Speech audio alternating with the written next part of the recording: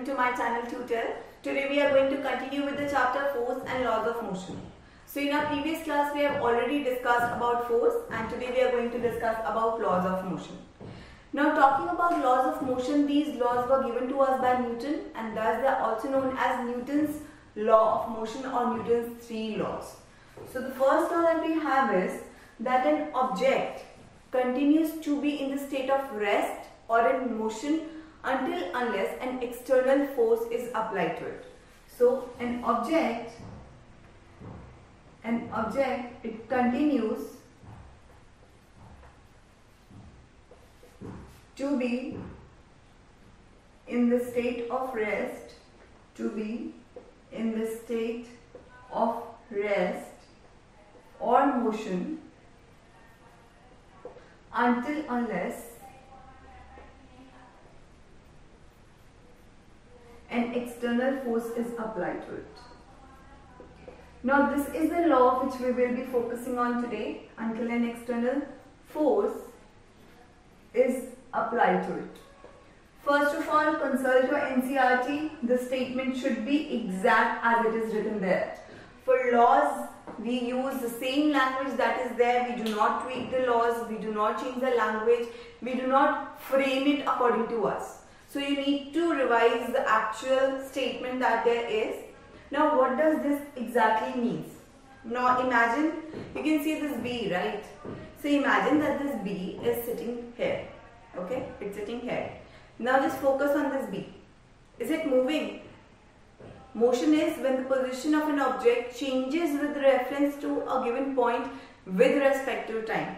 So see this B it's not moving according to my hand with respect to time right. So the state of motion of this B currently is at rest. Now until unless so the statement says that an object object continues to be in the state of rest so it's now currently at the, in the position of rest until unless an external force is applied to it. Now what is this external force? This is my pen and I am applying a force. Now see the state has changed from rest which it was there at, it has changed to motion. Thus, we can say that according to Newton's first law, an object continues to be in the state of rest. First I have explained you about the rest until unless an external force is applied to it.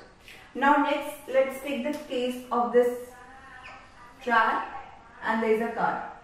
Now all those who have seen my previous class must now know that I am not very good at drawing. So this is my car, it is moving in this direction. Now tell me which force must be acting on it. Obviously we have read about it also, it's a contact force which acts in the opposite direction to the motion of the object and this force is known as frictional force. So this car which is currently in motion will continue to remain in motion until unless an external force is applied. Now in this case for example if I need to explain this is moving like this and it stops.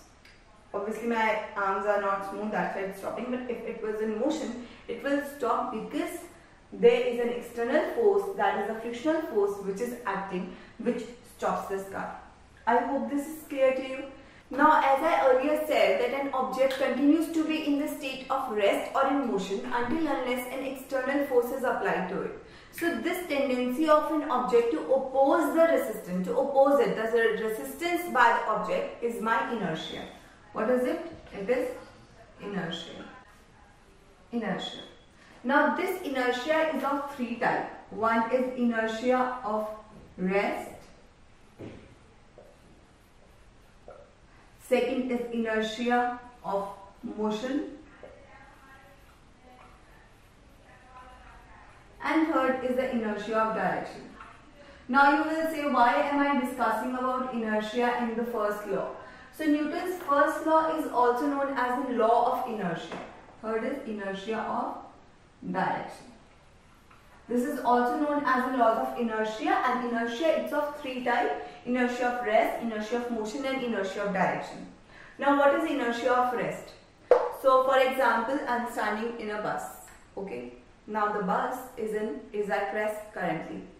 Suddenly the driver he starts the car he starts the bus and the bus starts to move. So my feet, they will tend to move along with the bus, but my upper part of the body, since it's at rest, so it will try to continue at rest, hence it will try to remain here and that is why I feel a backward jerk. This is my inertia of rest.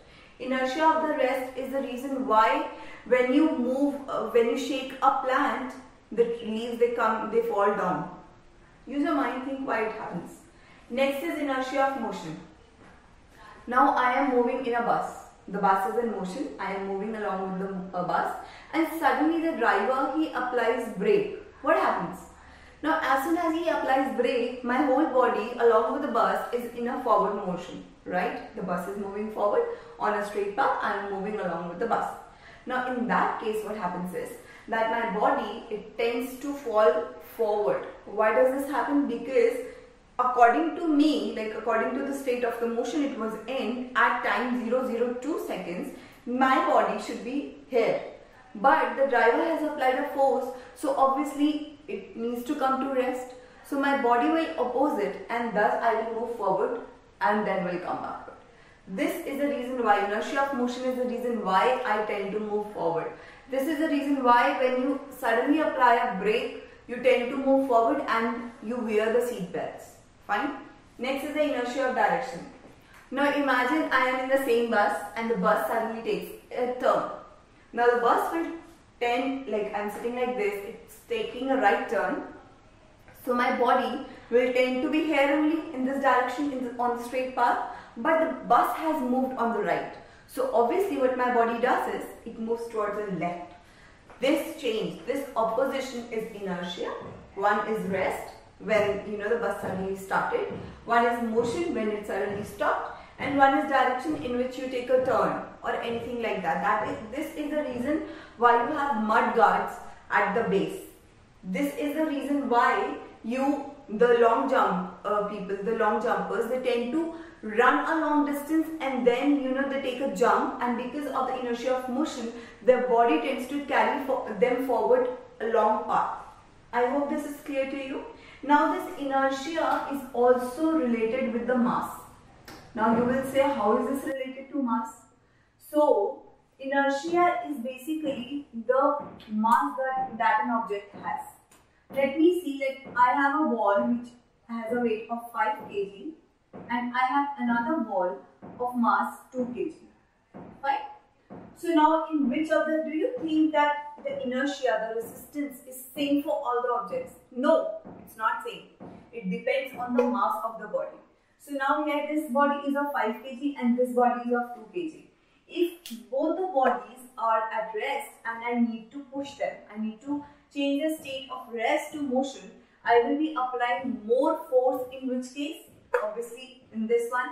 Why am I applying more force? or why is it uh, resisting it more obviously that means it is resisting the change more so that means the inertia is more so why is the inertia more in this case and less in this case this is because this has more mass as compared to this one so inertia is basically directly proportional to the mass more is the in mass of an object more is the inertia that it will have this is the reason why you need to apply more force when you are pushing a, when you are pushing an almirah as compared to when you are pushing a jug. That is because the mass of the of the almirah is more as compared to that of the jug. I hope this thing is clear to you. In the next class, we will be uh, discussing about Newton's second law and also we will be doing a proof. If you have any doubt, please write in the comment section. If you uh, feel there should be something uh, new that we need to learn or anything related to this, please write in the comment section. Thank you so much for your time and patience. Have a good day. Bye.